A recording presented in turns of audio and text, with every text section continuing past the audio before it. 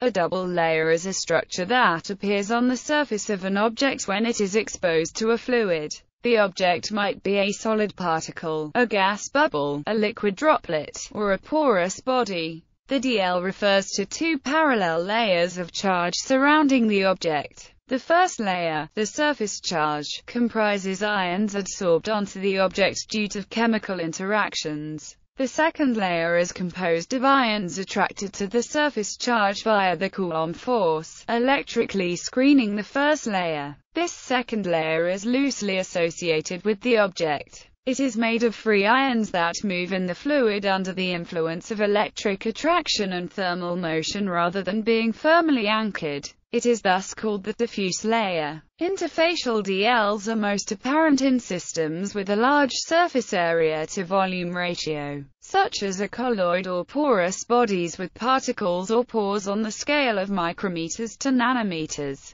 However, DLs are important to other phenomena, such as the electrochemical behavior of electrodes. DLs play a fundamental role in many everyday substances. For instance, homogenized milk exists only because fat droplets are covered with a DL that prevents their coagulation into butter. DLs exist in practically all heterogeneous fluid-based systems, such as blood, paint, ink and ceramic and cement slurry. The DL is closely related to electrokinetic phenomena and electroacoustic phenomena. Development of the double layer Helmholtz When an electronic conductor is brought in contact with a solid or liquid ionic conductor, a common boundary among the two phases appears. Hermann von Helmholtz was the first to realize that charged electrodes immersed in electrolytic solutions repel the co-ions of the charge while attracting counterions to their surfaces. Two layers of opposite polarity form at the interface between electrode and electrolyte. In 1853 he showed that an electrical double layer is essentially a molecular dielectric and stores charge electrostatically. Below the electrolyte's decomposition voltage the stored charge is linearly dependent on the voltage applied. This early model predicted a constant differential capacitance independent from the charge density depending on the dielectric constant of the electrolyte solvent and the thickness of the double layer. This model, with a good foundation for the description of the interface, does not consider important factors including diffusion, mixing of ions in solution, the possibility of adsorption onto the surface and the interaction between solvent dipole moments and the electrode. Gouy Chapman Louis Georges Gouy in 1910 and David Leonard Chapman in 1913 both observed that capacitance was not a constant and that it depended on the applied potential and the ionic concentration. The Gouy-Chapman model made significant improvements by introducing a diffuse model of the DL. In this model, the charge distribution of ions as a function of distance from the metal surface allows Maxwell-Boltzmann statistics to be applied. Thus the electric potential decreases exponentially away from the surface of the fluid bulk. Stern The Gouy-Chapman model fails for highly charged DLs. In 1924 Otto Stern suggested combining the Helmholtz model with the Gouy-Chapman model. In Stern's model, some ions adhere to the electrode as suggested by Helmholtz, giving an internal Stern layer, while some form a Gouy-Chapman diffuse layer. The Stern layer accounts for ions' finite size and consequently an ion's closest approach to the electrode is on the order of the ionic radius. The Stern model has its own limitations, namely that it effectively treats ions as point charges, assumes all significant interactions in the diffuse layer are coulombic, and assumes dielectric permittivity to be constant throughout the double layer and that fluid viscosity is constant above the slipping plane. Graham D. C. Graham modified Stern in 1947. He proposed that some ionic or uncharged species can penetrate the Stern layer, although the closest approach to the electrode is normally occupied by solvent molecules. This could occur if ions lose their solvation shell as they approach the electrode. He called ions in direct contact with the electrode, specifically adsorbed ions. This model proposed the existence of three regions. The inner Helmholtz plane plane passes through the centers of the specifically adsorbed ions. The outer Helmholtz plane passes through the centers of solvated ions at the distance of their closest approach to the electrode. Finally the diffuse layer is the region beyond the OHP. Bockris, Devanathan, Muller in 1963 J. O. M. Bockris. A.V. Devanathan and K. Alex Muller proposed the BDM model of the double layer that included the action of the solvent in the interface. They suggested that the attached molecules of the solvent, such as water, would have a fixed alignment to the electrode surface. This first layer of solvent molecules displays a strong orientation to the electric field depending on the charge. This orientation has great influence on the permittivity of the solvent that varies with field strength. The IHP passes through the centers of these molecules. Specifically adsorbed, partially solvated ions appear in this layer. The solvated ions of the electrolyte are outside the IHP. Through the centers of these ions pass the OHP. The diffuse layer is the region beyond the OHP. The BDM model now is most commonly used. Trasatti, Buzzanca further research with double layers on ruthenium dioxide films in 1971 by Sergio Trasatti and Giovanni Buzzanca demonstrated that the electrochemical behavior of these electrodes at low voltages with specific adsorbed ions was like that of capacitors.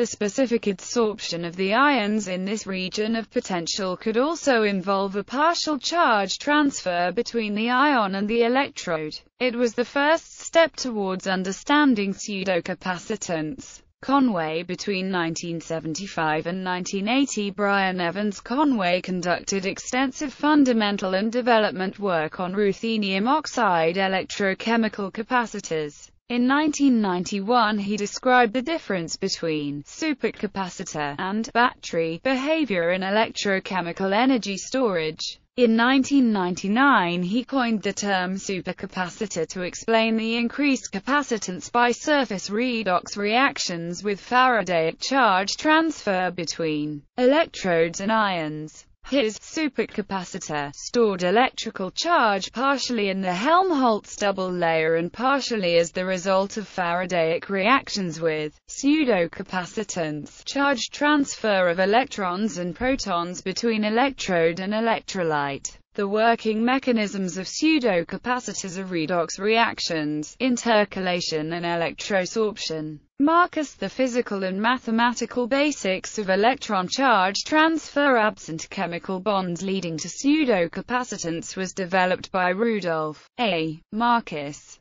Marcus theory explains the rates of electron transfer reactions, the rate at which an electron can move from one chemical species to another. It was originally formulated to address outer sphere electron transfer reactions, in which two chemical species change only in the charge, with an electron jumping, for redox reactions without making or breaking bonds. Marcus theory takes the place of Henry Eyring's transition state theory which was derived for reactions with structural changes. Marcus received the Nobel Prize in Chemistry in 1992 for this theory. Mathematical description There are detailed descriptions of the interfacial DL in many books on colloid and interface science and microscale fluid transport.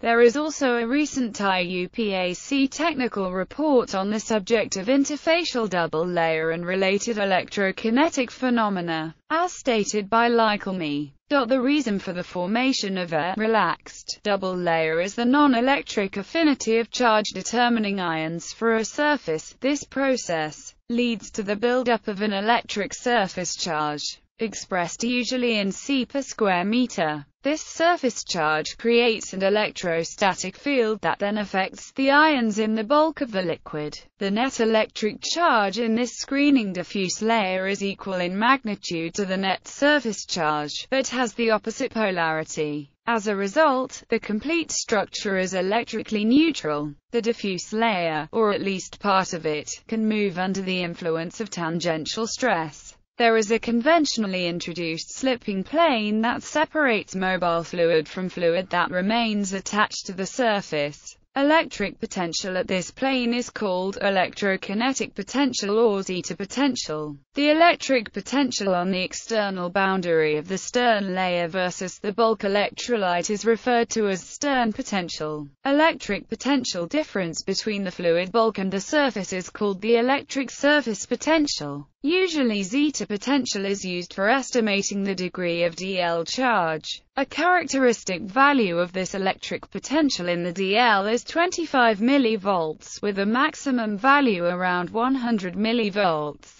The chemical composition of the sample at which the zeta potential is zero is called the point of zero charge or the isoelectric point. It is usually determined by the solution pH value, since protons and hydroxyl ions are the charge-determining ions for most surfaces. Zeta potential can be measured using electrophoresis, electroacoustic phenomena, streaming potential, and electroosmotic flow. The characteristic thickness of the DL is the Debye length, kappa minus 1. It is reciprocally proportional to the square root of the ion concentration C. In aqueous solutions it is typically on the scale of a few nanometers and the thickness decreases with increasing concentration of the electrolyte. The electric field strength inside the DL can be anywhere from 0 to over 109 V per meter. These steep electric potential gradients are the reason for the importance of the DLs.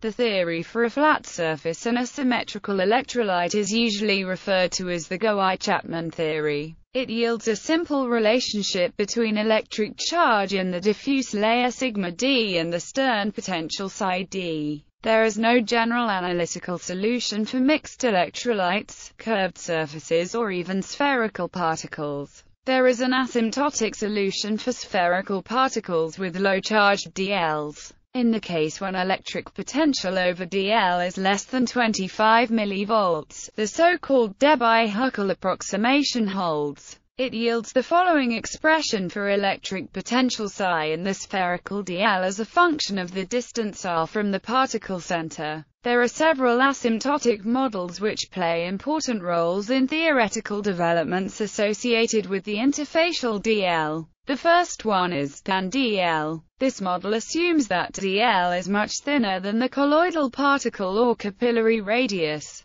This restricts the value of the Debye length and particle radius as following. This model offers tremendous simplifications for many subsequent applications. Theory of electrophoresis is just one example. The theory of electroacoustic phenomena is another example. The thin DL model is valid for most aqueous systems because the Debye length is only a few nanometers in such cases. It breaks down only for nanocolloids in solution with ionic strengths close to water. The opposing, thick DL, model assumes that the Debye length is larger than particle radius. This model can be useful for some nanocolloids and nonpolar fluids, where the Debye length is much larger. The last model introduces overlapped DLs. This is important in concentrated dispersions and emulsions when distances between particles become comparable with the Debye length. Electrical double layers